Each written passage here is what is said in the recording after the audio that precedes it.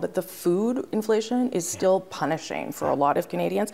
They're feeling squeezed. They have to make really hard choices. Do I get Christmas presents? Do I buy this many groceries? Like those are real things that are mm-hmm. happening to people. It does seem though as though Pierre Poilievre understood that and tapped into that long before you did. Oh, absolutely. Well, why, why is that? Why well, did no, you no, not no. see I mean, that? it's not that he understood that. It's that he's done a really effective job of reflecting that back and amplifying Mhm. it to people. We've been hearing that across the country for years But now, why did you not out of the reflect it back and amplify it back? Why, why did you? Why did that room be? Why was that room left to him? It, it wasn't necessarily left to him, Mm. but when you're trying to solve an extremely complex situation that requires a number of different solutions,